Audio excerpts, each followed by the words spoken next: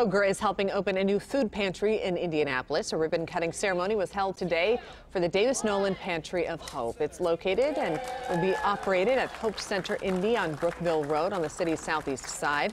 Kroger estimates about 20% of Marion County residents don't know where they will find their next meal. So the pantry is named in honor of David Nolan, the son of Hope Center Indy's executive director.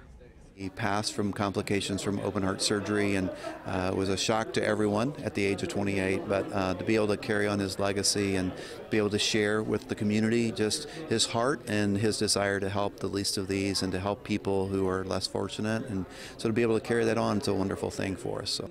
Kroger donated $15,000 to help get the shelter going. The company is also committed to helping to keep the pantry shelves full in the months ahead.